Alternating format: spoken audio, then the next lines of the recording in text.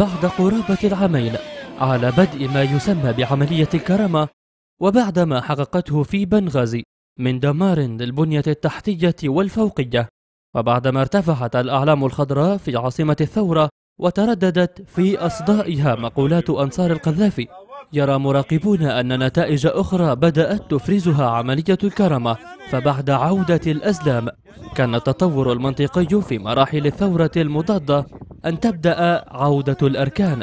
فإلى مدينة طبرق التي أسقطت تماثيل الكتاب الأخضر في لحظات وصفت بالتاريخية عاد اليوم الطيب الصافي أحد سفاحي نظام القذافي مستفيدا من قرار العفو العام الذي أصدره مجلس النواب المنحل. إحنا خلاص في لا بنعادوا حد لا بنخشوا حد مشاكل لأنه في مشاكل. نحترموا مجلس النواب نحترموا قيادة الجيش نحترموا قياداتها نحترموا الناس المحترمين.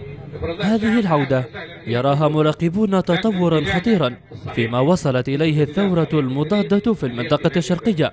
فهل ما يحدث في شرق البلاد هو نكوص عن ثورة فبراير أم أنها نتاج لصفقات سياسية؟ بات يعقدها الانقلابيون لرفض عملية الكرامة بعد عامين من انطلاقها بكل ما يستطيعون حتى لو كان ثمن التحالف مع أركان النظام السابق.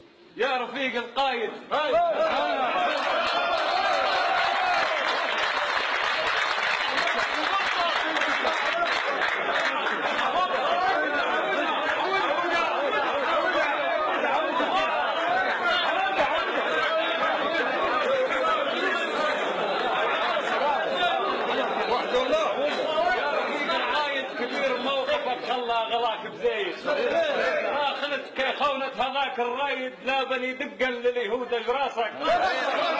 تقعد. وغير بعيد عن أخبار الصفقات والأزلام تصدر في مصراتة عمليات إفراج عن سجناء من جلاوزة النظام السابق من أمثال ابني وزير الدفاع في عهد القذافي أبو بكر يونس جابر اللذان تم القبض عليهما وهما يقاتلان في صفوف القذافي حتى اللحظات الأخيرة. وأيضا العقيد محمد بن نايل الذي قبضت عليه قوات فجر ليبيا في معارك قاعدة براكا الجوية في إبريل من العام الماضي وكان فيما سبق من أهم أذرع القذافي الأمنية.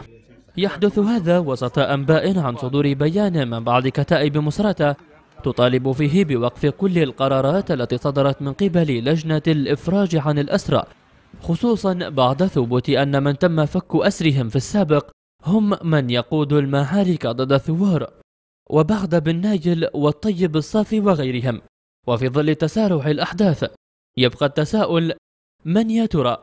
سيكون القادم الجديد إلى ليبيا الثورة وهل يمكن للثورة أن تتحمل كل هذا التقهقر وتستوعب كل هذه الصفقات المشبوهة؟